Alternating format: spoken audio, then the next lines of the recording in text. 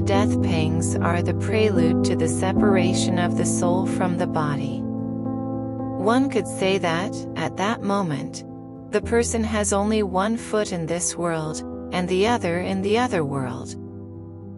This passage is sometimes painful for those who are deeply attached to matter, and who have lived more for the possessions of this world, than for those of the other, or those whose conscience is troubled by grief and remorse.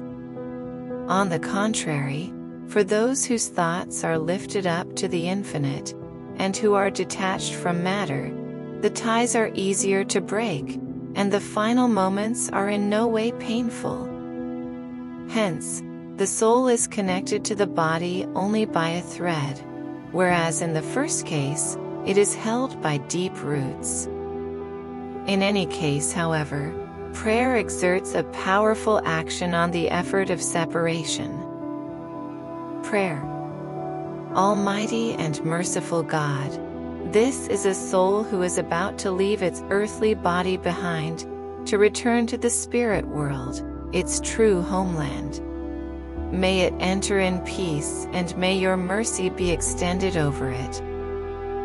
Good spirits who have followed it while on the earth, do not forsake it at this supreme moment.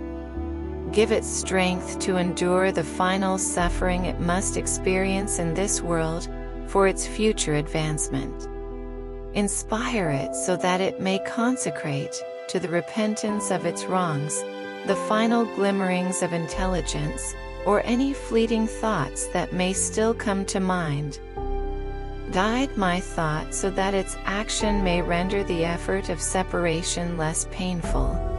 Taking to this soul consolations and hope at the moment of leaving this earth.